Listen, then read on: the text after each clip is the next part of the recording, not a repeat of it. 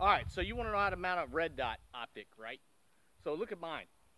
Normally, you'll see a lot of AR uppers. They're mounted all the way up to the front. I'm not doing that anymore. I've already tried that. I've trained with that. I'm not successful with it. I'm going to mount mine all the way to the rear, right, right before the rear sight aperture. The reason why I want to do that is because it brings the red dot closer to me.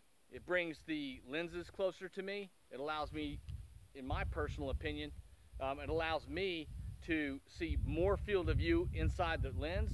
If I'm tracking left to right and I'm using the weapon system in and of itself to look right and look left because you never look without your weapon system, uh, it's easier for me to see the red dot, right? And so I'm going to train that way.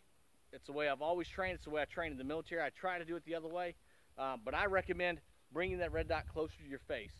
But like the Hodge twins say, you do whatever the fuck you want.